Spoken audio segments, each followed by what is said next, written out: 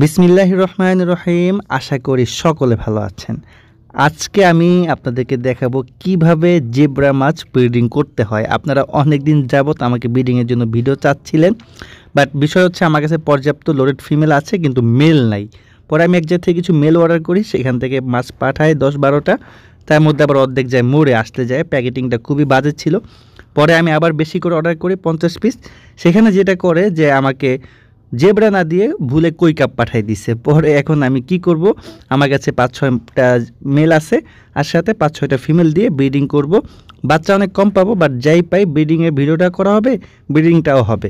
তো আপনারা মনে রাখবেন, জেব্রা ফিশ ব্রিডিংয়ের জন্য আপনারা সর্বনিম্ন বিশটা মেল দশ থেকে বারোটা ফিমেল সিলেক্ট করবে, তাহলে ব্রিডিংটা সব থেকে ভালো হবে। তো যা আছে সেটা নিয়ে আজকে ভিডিও চলেন শুরু করা যাক। আশা করি ভিডিওটা আপনাদের ভালো লাগবে এবং অনেক কিছু জানতে পারবেন। অবশ্যই সম্পূর্ণ ভিডিও দেখবেন, দেখার ভালো লাগলে ভিডিওটা লাইক করবেন ফ্রেন্ডের সাথে শেয়ার করবেন। চ্যানেলটি যদি এখনও সাবস্ক্রাইব না করে থাকেন, অবশ্যই চ্যানেলটি সাবস্ক্রাইব করবেন।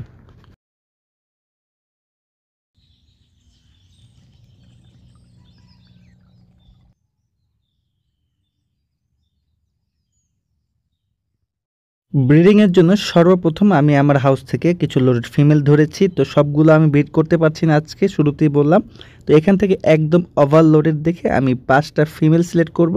আর আমার কাছে ছয়টা মেল আছে, যদিও মেল আরও বেশি হলে ভালো। চেষ্টা করবেন ফিমেল থেকে মেল ডাবল দেওয়ার, কারণ মেলগুলো যত বেশি হবে ব্রিডিংটা তত ভালো হবে।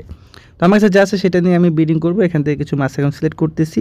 তার ফাঁকে আমি আপনাদেরকে দেখাই, এটা হচ্ছে আমার ব্রিডিং ট্যাঙ্ক এখানে আমি প্রায় চার পাঁচ দিন আগে পানি দিয়েছিলাম।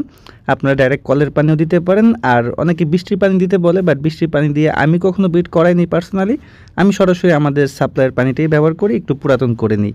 এখানে ফিল্টার দেওয়া ছিল, আমি এখন ফিল্টার তুলে ফেলছি, যেহেতু ব্রিডিং করব, এখানে কোনো ধরনের ফিল্টার দেওয়া যাবে না। আমি এখানে দেড় ফিট একুরিয়াম নিয়েছিলাম, আর এটা হচ্ছে আমার ব্রিডিং নেট আপনার চাইলে আরও ছোটো একুরিয়ামও নিতে পারেন, কোনো সমস্যা হবে না।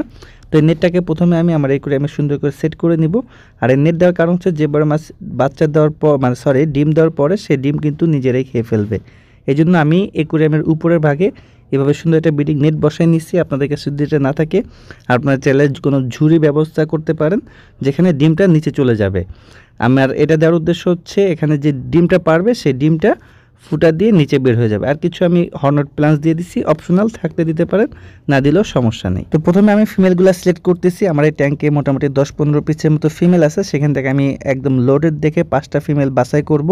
কারণ হচ্ছে আমার কাছে মেল কম, আমি চাইলেও এখন সবগুলো বিড়ে বসাতে পারছি না। ইচ্ছা ছিল সবগুলো একসাথে বিট করানোর, কিন্তু আসলে ভাগ্যে নাই। এদিকে ফিমেলের প্যাডগুলো ফুলে আসছে, ওইদিকে মেলও আমি খুঁজে পাচ্ছি না। আর এটা যেহেতু লং ফিন জেব্রা এই লং ফিন জেব্রার মিলটা একটু কম থাকে বাজারে।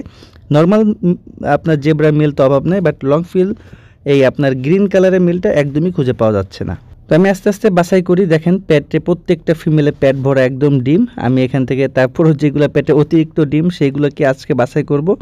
তো প্রথমে আমি আসলে হাত দিয়ে উঠাতে চাচ্ছিলাম বাট হাত দিয়ে উঠানো একটু কষ্ট। এই জন্য আগে সবগুলো মাছই একটা বাটিতে নিয়ে নিলাম। এবং এখান থেকে আমার ডিমগুলো দেখতেও সহজ হচ্ছে যে কোন মাছটার প্যাট বেশি ফোলা। তো সেগুলোকে এখন আলাদা করতে হবে। আলাদা করে আমি আমার যে নেট আছে, যেখানে আমি নেটটা সেট করছি, সেখানে প্রথমে আমি ফিমেলগুলো দিয়ে দিই। আপনারা খেয়াল করেন যে আমি কীভাবে বাছাই করতেছি, একদম আমার কাছে, আপনারা ভিডিওতে দেখে অনেকটা আইডিয়া করতে পারতেছেন যে কোন ফিমেলটা প্যাড বেশি ফোলা। তো এভাবেই বাছাই করে করে আমি এখান থেকে প্রথমে পাঁচটা ফিমেল আলাদা করে নিব। ফিমেলগুলো দেখলে আশা করি আপনারা মানে অবাক হবেন যে কতটা লোড হয়ে আছে। আমার কাছে জাস্ট মেল নাই। মেল থাকলে আমি এখন সবগুলো মাছ ব্রিডিং করতে পারতাম। প্রত্যেকটা প্যাটি ডিম আছে আসলে খুব আফসোস হচ্ছে বাট কিছু করার নাই। হাতের কাছে ভালো মেল পাচ্ছি না, আর অর্ডার দিলাম, সেখানেও ভুল করছে। তো আসলে আমি খুবই আপসেট বাট যা আছে হাতের কাছে তা নিয়ে আপাতত কাজ চালাচ্ছি। তো এখন মেল পাঁচটাকে ধরে আনলাম। সরি ছয়টা মেল আছে আমার কাছে, ছয়টা টোটাল এই ছয়টাকে এখন আমি ফিমেলের সাথে দিয়ে দিব। আর একটা কথা বলতে ভুলে গিয়েছি, আমি এই টোটালি কাজটা করতেছি হচ্ছে সন্ধ্যার সময়।